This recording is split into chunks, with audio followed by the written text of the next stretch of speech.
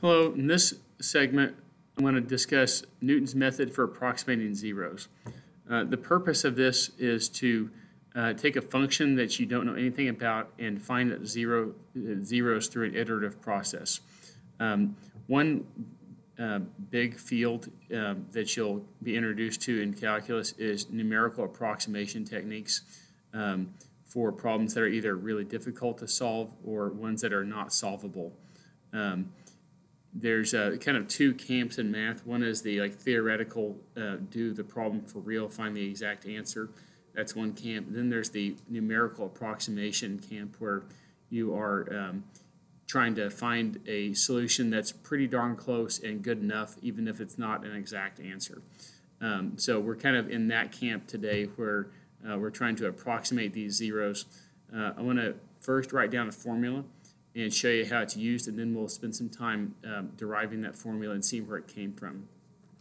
Uh, but for starters, um, we're gonna, I'm just, let me write this down. x to the n plus 1 equals x to the n minus f of x to the n over f prime of x to the n. So this is just a formula uh, like I said, for now, I'm just going to write it down. We'll derive it here in a minute. Let me talk about how you use it. Um, so this takes iterations. That means that you um, basically start with uh, a guess of what the zero is, and then you go through the formula. It gives you a second, a, a better guess, and then you take that guess uh, put it into your formula, it spits out a, another guess. And through these iterations, uh, you get better and better approximations of your zero until you get to um, an approximation that's good enough for your purposes. And that depends on the application. You know, maybe a two decimal digits is adequate for your approximation. Maybe you need five, maybe you need 13, you know. Um, you're never going to get an exact answer, but you can always do as many iterations as it takes to get an answer that's sufficient for your needs as far as the precision. Uh, let me write down an equation and we'll just start start with it. Um, x uh, cubed plus 3x plus 1. That'll be my f of x. And I want to know when does that equal 0? What are the zeros? Um, so you can see that we have uh, f of x, f prime of x. Let me just write down f prime of x. 3x squared plus 3. Um, so at this point, if I want to know what the zeros are, I have no idea, first of all. I know because it's an odd power, there must at least be one, maybe three, but at least there's going to be one. So we're just going to guess. I'm going to call this x sub 1, and how about 8? Um, so we're going to use that to get x sub 2. x sub 2 is going to be x sub 1 minus f of x sub 1 over f prime of x sub 1. That's going to be 8 minus f of 8 over f prime of 8. I'm going to work all this out by hand first, and then we'll go back and do it on the calculator for the subsequent uh, versions. Uh, f of 8, if you plug that in, uh, 8 times 8 times 8, 64 times 8 uh, is going to be uh, 512. Sorry, so you have 8 over 1 minus 512. If you put in 8 here, you get 64 times 3 is 192 plus 3 is 195. So that's going to be, let's just do it right here. Uh, 8 minus, there we go, uh, 512 divided by 195. So the next guess is 5.374. Let me make this so you can see it. So that's my second guess, x sub 2. So we're going to do this again for 5.374. Let me show you a way you can do this on your calculator and make it faster. Uh, so I'm going to, um, we'll just clear this out for a second. I'm going to go to y equals, and I'm going to identify f of x as uh, y1. So we'll type that in, x cubed plus 3x plus 1. And then uh, f prime will be y2, uh, 3x squared plus 3. Uh, I'm going to quit. I'm going to go into my window and uh, type in, um, actually I'll tell you what, let's just do it all in, in here. Um, so y3 is going to be my formula. Uh, I'm going to type whatever the last x was, uh, that's x sub n, minus the function at x, that's going to be y1 uh, at x. So you go to vars right here, vars, go to y vars, pick function, and then pick y1. So we're going to have y1 of x divided by uh, y, the second, the derivative is y2, so that goes on the bottom of that fraction. Um, vars again, y vars function, y2 at x. So this is my, uh, this is my, my Newton's method formula. The last guess minus the function at x divided by the derivative at x, and those are defined as y1 and y2. So if I quit now, um, since my formula is in y3, I can go to vars, y vars, function, y3, and plug in my 8 again. That was my first guess, so that was 5.246. I think I typed in something wrong. Uh, anyway, so I'm just going to write down 5.246, and then I'm going to hit second enter, and um, I'm going to put in this the answer. That means that's plugging this into there. And so my third guess, let me write that down, x sub 3 is 3.363. Then we're going to do second enter again. That answer now refers to that, so that's going to give me my next guess. x sub 4 is 2.0328. Then second Again, this is going to put in the 2.032 to get me my fifth guess. Uh, x sub 5, 1.026. And you can see the difference is getting smaller and smaller and smaller, but it's still pretty remarkable, pretty big. Uh, now I've got point x sub 6, 0.1886. Do it to get again, and we get a negative 0.3175. I'll make a new column here. Do it again. Uh, x sub 8, negative 0.322. Get ready for x sub 9. Second enter. Uh, so now I want you to notice something. Uh, let me write that down. Negative 0.322185. This was negative 3.221915. So this is where you have to decide how long you want to do this. We've done nine of them. That's a lot. Um, so from from the seventh to the eighth, I had negative 0.3 shared. So if you only cared about the first decimal place, as soon as that first decimal place repeats, it's never going to change again. So if you just needed to say, hey, it's negative 0.3, you know, good enough, you're done. Um, if you needed two decimal places, obviously negative 0.31, negative 0.32, the second decimal place has not changed. Right, I'm sorry, it has changed, so that's not good enough yet. But now from the 8th to the 9th, we have negative 0.32, negative 0.32. Once the decimal point repeats, it's never going to change again. So if you wanted, actually, look, 0.3221, 0.3221, then we have a 9 and an 8. So if four decimal places was good enough for you, you could stop at 9 and those four decimal places, once they repeat, will never change again. So, you know, it depends on what your degree of, of, of error is allowed to be. And, you know, it depends on your application. If you're doing something that's kind of willy-nilly, I just need a ballpark, you know, this is probably great. If you're doing something that's highly precise and you need really super precision, you may need to keep going. Let's just keep going for another uh, round. Let's get the 10th. Now look at my numbers, 3, 2, 2, 1, 8, 5, 3, 5. 4. So now at the 10th guess, we have, um, um, we have like what is that, nine or 10 decimals repeating. Probably th- that's all the precision you would ever need. Um, so now, my first guess was eight. You know, that was probably kind of a, a bad guess. Um, you know, it was really far away. That's why it took me 10 iterations or nine iterations to get to a satisfactory zero.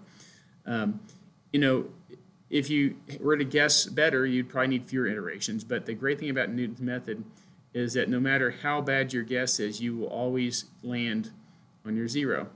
Um, let's graph this and just take a look at it and, and think this through. I already typed the function into y1, I'm simply going to turn off the others for now so I can look at a graph. Uh, we'll go to graph. Uh, does that look like negative 0.3? Uh, possibly. Let's go find for real. Second calc, 0 left bound,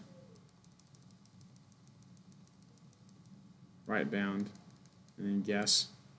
Uh, sure enough, negative 0.3221, so forth. So that was the correct zero, and you can see there is only one zero. The other two must be imaginary. Uh, if there were multiple zeros, uh, beware of that. If you do Newton's method, it will be attracted to the nearest one. So your guess has to be uh, kind of remotely close to the nearest zero or the one that you want to find. Um, okay, so we did an example, um, and you know maybe uh, I could do this again with a with a closer guess. Let me just do that real quick, and then we'll we'll move on. Uh, once again, I'm going to go to vars function y3 is where I save that. So my my actual number is like negative 0.3. So let's guess like one. So that's my second guess. And then if I just do answer third guess, fourth guess, second enter, fifth guess. You know, I'm getting to that negative 0.32 a lot faster now. So uh, for now, this is my magic formula. Uh, next, we're going to uh, identify the source of it, how it came to be.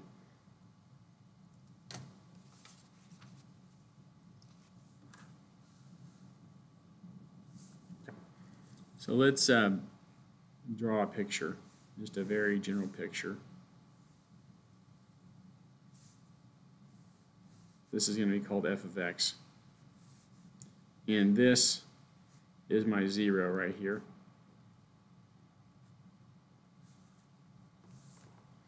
Uh, and this is my first guess. x sub n. And so if you were to draw a tangent line,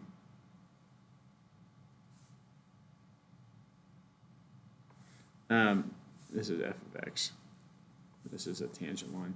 So notice the tangent line, if you draw a tangent line at that point of the curve, the place it crosses is closer to the zero than where you started.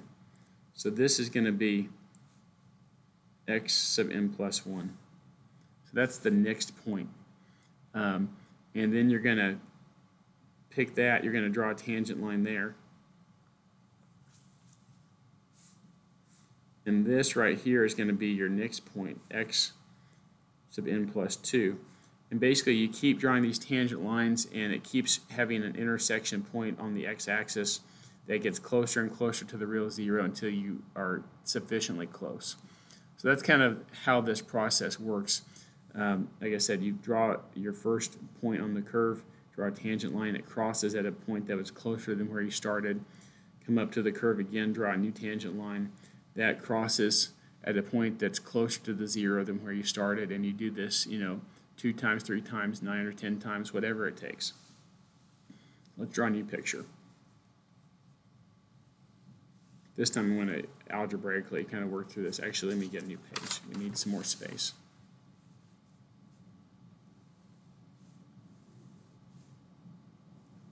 And I'm using a parabola here, but it really makes no difference at all uh, what kind of uh, function you use. Yeah, I'm getting kind of picky. I want to I want to draw it a little bit better.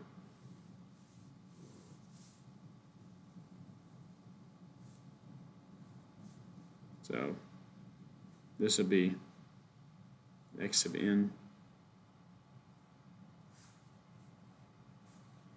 Uh, this would be my line.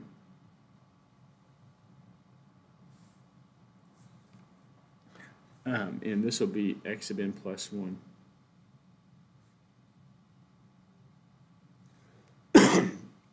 so the way this, this comes to be is recognizing that with this tangent line, slope is defined in two ways.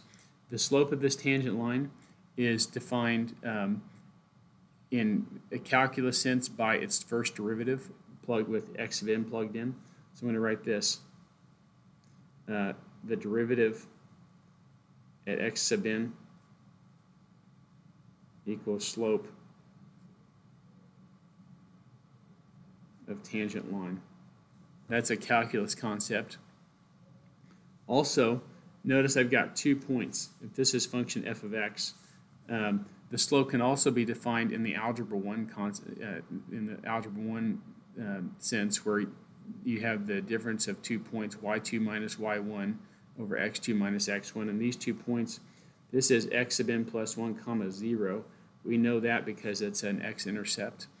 And this point right here is x sub n, um, well, x sub n, comma, uh, and then this is f of x sub n. So also, um, if you do y2 minus y1, it's f of x sub n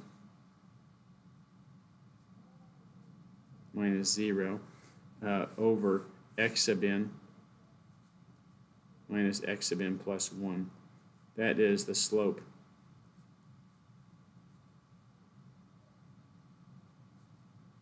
of the tangent line also. So keep in mind here, the, the way we're going to do this, we've got two points. The slope of that tangent line as an Algebra 1 student would just say y2 minus y1 over x2 minus x1. A calculus student would say the derivative at x of n is the, is the slope of that tangent line. And what you can do is you can kind of have the best of both worlds here and just say if those are both slope, let's set them equal to each other. So f prime of x sub n equals f of x sub n minus 0 over uh, x sub n minus x sub n plus 1. Uh, to get rid of that fraction, I'm just going to multiply both sides by x sub n minus x sub n plus 1. Like that. Uh, so we get uh, x sub n minus x sub n plus 1 times f prime x sub n uh, equals f of x sub n. And we're just doing some algebra now. Uh, I'm going to divide this out. We want an expression for the next term, so ultimately I want to solve for that. That's my goal, because if I have the first term, then I need to get the next term. So we get that. So x sub n minus x sub n plus 1 equals f of x sub n over f prime of x sub n. Uh, next we can take away x sub n from both sides and we get negative x sub n plus 1 equals negative x sub n plus f of x sub n over f prime of x sub n. And then we can divide by negative and we get x sub n plus 1 equals positive x sub n minus f of x sub n over the derivative of x uh, sub n. So that is Newton's method formula.